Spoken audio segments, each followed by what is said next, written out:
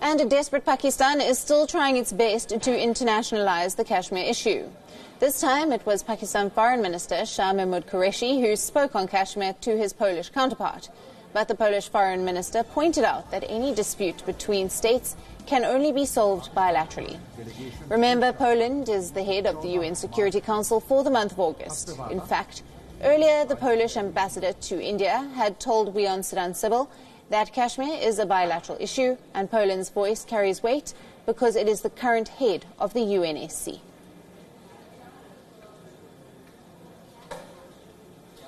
It is clear that all attempts by Pakistan to get the US on board against India have failed. India's US ambassador has said that the US President Donald Trump's offer to mediate on Kashmir is now, quote unquote, off the table. Uh, ambassador Shringla spoke to Trump's favorite TV channel, Fox News, and said that Trump has made it clear that his offer does not stand anymore because India did not accept the offer. It was always known that the offer had to be accepted by both Delhi and Islamabad.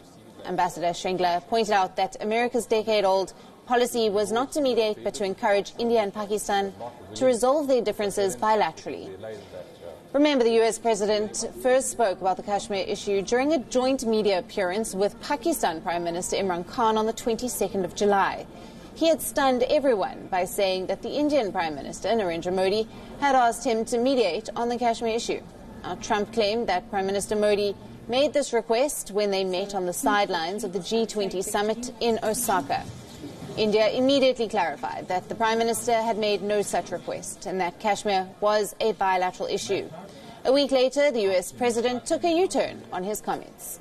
He said that he would certainly intervene if India and Pakistan wanted him to, and he said it was up to Prime Minister Modi to accept his offer. India not just rejected the offer, but it also made it clear that no talks will take place until Pakistan stopped cross-border terrorism.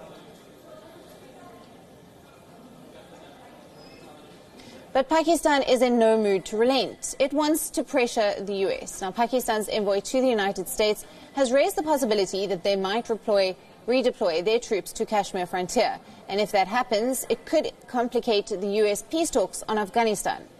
In an interview to the New York Times, Pakistan's ambassador, Asad Majeed Khan, said that uh, Islamabad might redeploy troops from the western border of the country to the eastern border. However, Asad Khan has clearly stated in his interview that the Kashmir and Afghanistan issues were separate and he was not attempting to link them. Even then, the Pakistani ambassador went on to say that India's move on Jammu and Kashmir could not have come at a quote unquote worse time for Pakistan. That's because the Pakistanis have sought to strengthen military control along the western border with Afghanistan. And Mr. Khan went on to claim that the crisis was going to get worse. When specifically asked why he thought the crisis would worsen, he declined to give any reasons.